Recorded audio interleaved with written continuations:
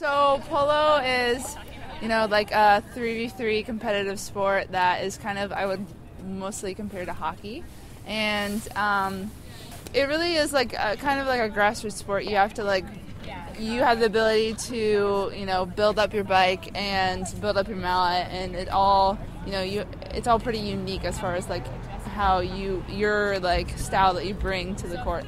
I've uh, I worked a lot with the city in in order to like get these courts to play at. So they they like the fact that you know we're out here, we're using the courts because these kids, courts aren't really used that much. So the fact that they're getting utilized and also um, and people in the area come by and like want help with their bike or something. So we have a, a crap ton of tools all at all times. So kids come by and they want to see uh, kids come by and they like have something wrong with their bike. We're here helping them fix it, and also we like participate in community events. So it's kind of like a you know win-win for the city and also for us. So um, Raleigh's been pretty like pretty good. Like we're one of the few clubs in the southeast region to have a park that uh, is designated for polo use. So it's pretty good.